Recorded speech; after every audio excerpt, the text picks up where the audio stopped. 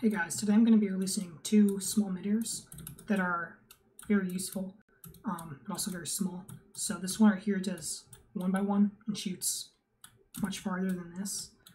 Um, I can't remember exactly how far this shoots. I think it's like 500 blocks or something. This shoots like, maybe not. This shoots like 100 something, maybe a little more.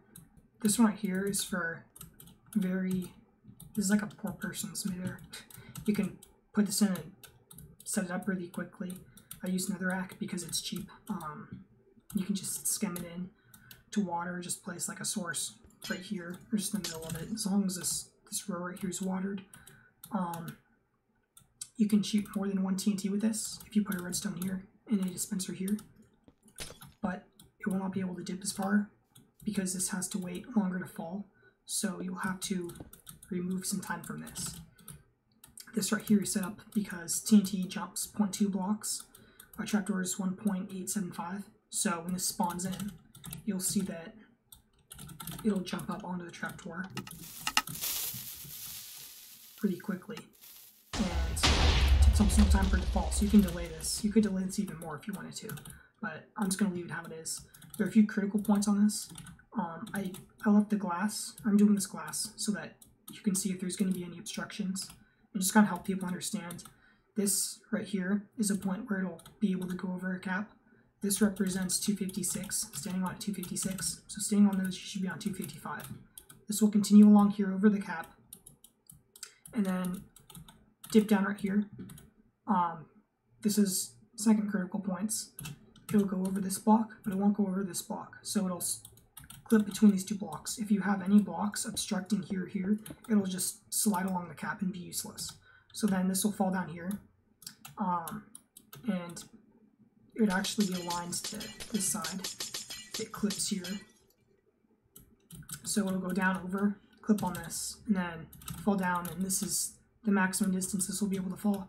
But you could push this a little farther if you added some more times, I just haven't done that. But if we remove that block, what you'll see is this is for shooting like under a cap and then going forward again um, it'll make it over this block and it'll keep going. And then this is a point where it can continue under the cap. So I've marked these because these are some useful points in the schematic. Um, and on the release, I'll be moving all these things over to perfectly in line with the barrel, so it's easy to line up. But I just have them next to it for now, so I can do these demonstrations. Okay, this next one is basically does the same thing, but this one one by ones, and goes much farther. And again, you can add more TNT by doing the same thing and removing timings. Also, these are not the maximum timings for this, but it becomes an inconvenience to time it past that. So if you really need to, you can play with that yourself.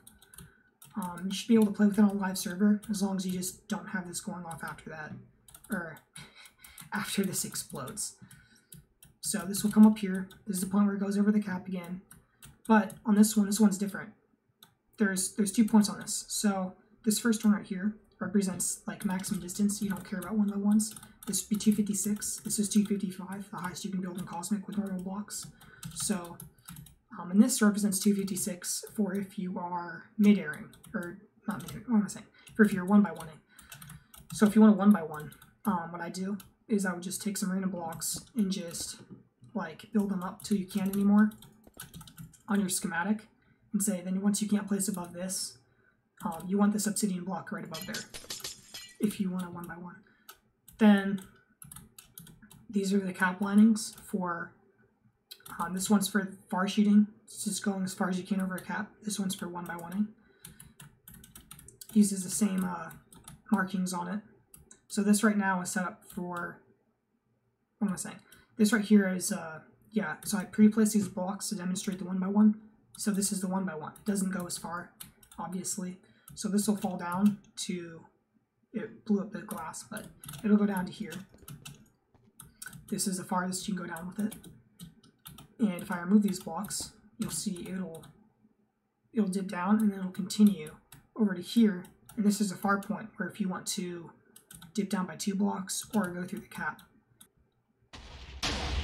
Okay, so I'll fire it again, and this time it represents the longer shooting. So we're going to ignore the higher cap up there, and we're going to be focusing on this one if you're lining it up like this. So as you'll see, we'll go over, and then everything above here is irrelevant because that's above 256.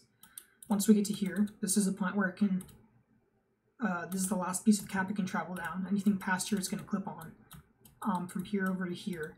And if you want, you can continue going underneath their cap. These are the, this is a range for if you want to shoot in a hole that's open and then keep going underneath their cap. Um, and then for, if you want to dip it down, if there's a block here, this will, this will also dip down. It'll drop down like you saw in one by. On the actual schem, this button won't be here.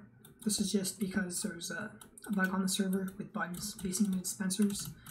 Um, so it'll look like this on Cosmic. And as you can see, it's it's literally nothing. This is, uh, what is this? 6 times 4, 24, 27, 28 dispensers for a step over. And then a little bit of netherrack and repeaters and redstone. That's the whole cannon and trapdoors and stuff. But this one is a total of 34 um, dispensers. And I use stone because stone looks better. But you're not going to need to build this out of obby. And I also cleaned these up a little bit to try and keep them compact. And on the actual schem, I'll also be having the button up here on these dispensers um, instead of down here. That's pretty much it. Um, thanks for watching. I've been getting a lot of questions about midairs, so these are the first two I'm releasing. I've not used these in videos yet, but they're very, very handy to keep in your schematics folder.